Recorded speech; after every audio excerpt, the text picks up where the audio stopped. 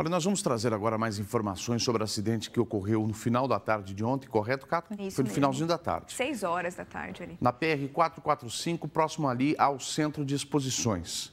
Né, aquela entrada é, pelos fundos da 445 ali, né, pelo fundo do, do- do parque de exposições, perdão, por onde passa a 445, ali nas proximidades. Naquele primeiro pontilhão que tem, ocorreu ontem um acidente envolvendo pelo menos nove veículos. Isso porque nós contamos nove veículos no vídeo que nós vamos mostrar agora para você. Pode colocar esse vídeo no ar e deixa a íntegra do BG aí que eu quero ouvir. Olha o desespero desse cidadão. Batida agora, hein? Vocês estão bem?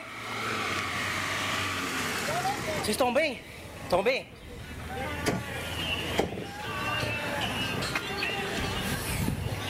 Acabou de bater, cara. Cadê o rapaz da moto aqui? Cadê o outro rapaz da moto aqui? Hein? Cadê o outro rapaz?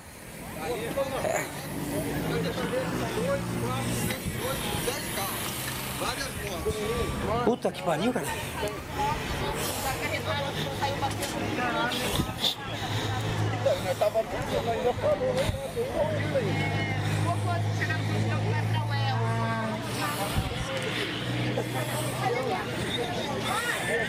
Ó, isso aqui foi tudo a culpa, isso aqui, ó. Isso. Esse troço aí, ó.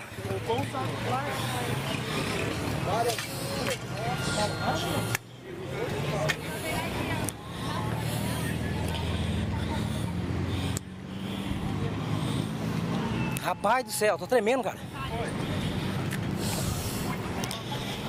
Ó, aquela porra do saco pracho lá. Saco pracho? É, um sacão de lixo, de lixo, de. de... Ai, tô tremendo.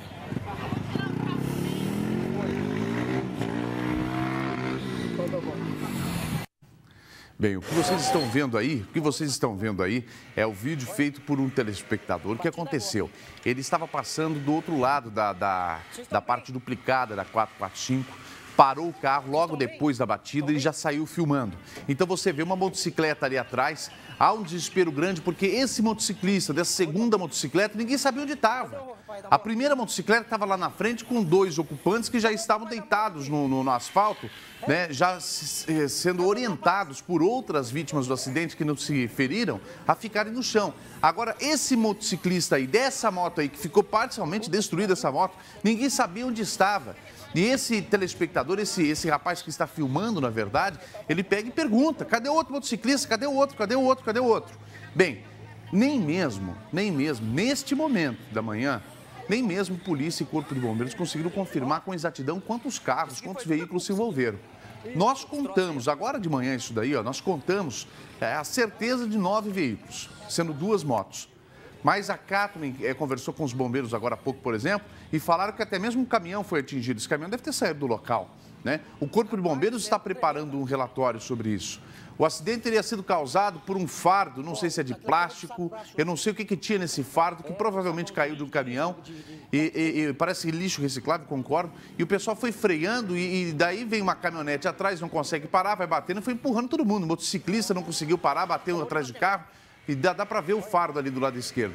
Kathleen, o que, que você tem de informações confirmadas pelos bombeiros sobre esse acidente? 7 e 8 agora. Felizmente, a maior parte dos danos nesse caso foram materiais. Então a gente consegue ver que os carros ali ficaram com partes quebradas, alguns menos, outros mais. Porém, aqueles, motocic... aqueles condutores, né, ou passageiros ali da moto que estão no chão, eles se feriram. Então, um de 17, outro de 15 anos, os dois menores que estavam na moto. O de 17, ele teve escoriações pelo corpo e quebrou um braço e foi levado para a Santa Casa. E o passageiro de 15 anos de idade, ele teve quebrou a clavícula, desculpa, e foi levado a UPA-SOL, mas eles não correm nenhum risco de morte. O restante mesmo, os motoristas vão ter que dar conta dos veículos aí pelos danos materiais. É. Até o momento tem a identificação de alguns veículos apenas, igual você falou, o Corpo de Bombeiros dá, por enquanto, apenas seis veículos envolvidos, mas a gente contou que tem bem mais ali, né? Sim, tem mais. Tem mais. viu? Pode contar ali que tem mais. De pequenas avarias a grandes, tem, que eu contei aí, é, nove veículos pelo menos. A traseira daquele Uno ficou detonada. E essa caminhonetona aí, você pega uma F-250 vai empurrando, bicho, vira, vira uma bagunça na frente. A equipe do Corpo de Bombeiros ali de Cambé teve que dar apoio e tudo, porque foi bastante bastante. É, Muita a, gente envolvida. Até saber, né? São nove veículos pelo menos. E a gente escuta as pessoas falando, ó, sete carros, oito veículos, não sei o que lá falando. Os bombeiros vão com várias ambulâncias, vai saber quantas vítimas tem. Eu vou fazer o seguinte, sete horas agora e nove minutos, daqui a pouco nós vamos trazer um relatório completo do Corpo de Bombeiros de Cambé, Cato, não é isso? Isso, eles estão preparando, já nos disseram que antes das oito aí sai certinho, a gente vai trazer aqui no Relatório completo para você ter todas as informações. A Cato está antenada, está conversando com o pessoal do Corpo de Bombeiros de Cambé, a qual eu quero mandar um abraço, inclusive, agora.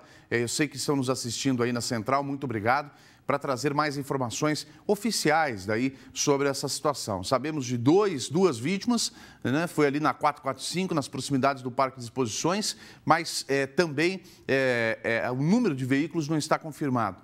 Tem até motociclista que sumiu ali, porque onde que estaria o condutor dessa motocicleta é, que bateu e que ficou parcialmente destruída ali? O, o, o telespectador que filmou ali não conseguiu encontrar ele.